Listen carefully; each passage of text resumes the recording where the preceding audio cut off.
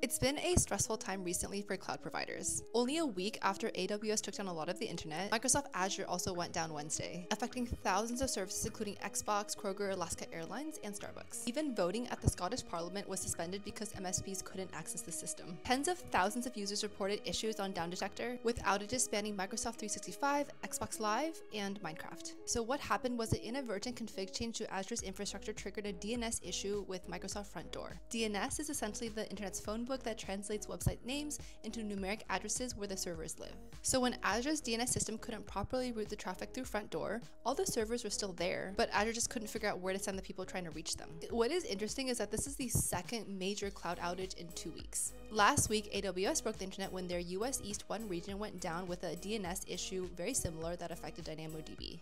An expert from Royal Holloway noted that Google, Amazon, and Microsoft have a triopoly on cloud services, meaning that an outage from any one of them can cripple hundreds of applications. What do you think these companies can do to mitigate these outages in the future? Follow more tech and AI news.